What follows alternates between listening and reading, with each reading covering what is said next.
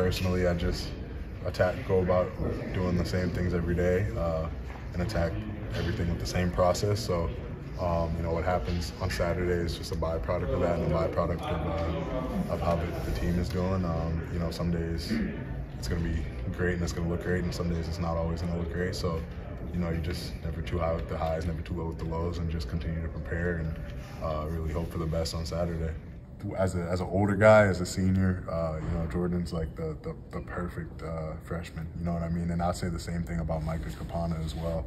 Um, you know, they've both just came in and been nothing but sponges, been willing to learn, take uh, tidbits from, from us as older guys, and obviously everything the coaches are saying, and then they go out on the field and, and do it. Um, and you know, I've been here for for five years, and you know, I, it's been a long time since I've seen young guys come in with that much maturity and that ability to just adjust to the college game so quickly. And uh, I, I, commend both of them for that. Um, and I'm, I'm, so excited to see what, I can't wait to be, you know, an, an alumni watching those guys, like, yeah, uh, you know, watching them do their thing. So I'm excited for them. Ben has just been improving day and day and day, um, you know, and it, has been so fun to watch. Uh, ben is also just extremely positive and is a, is a great just vibe and guy to be around.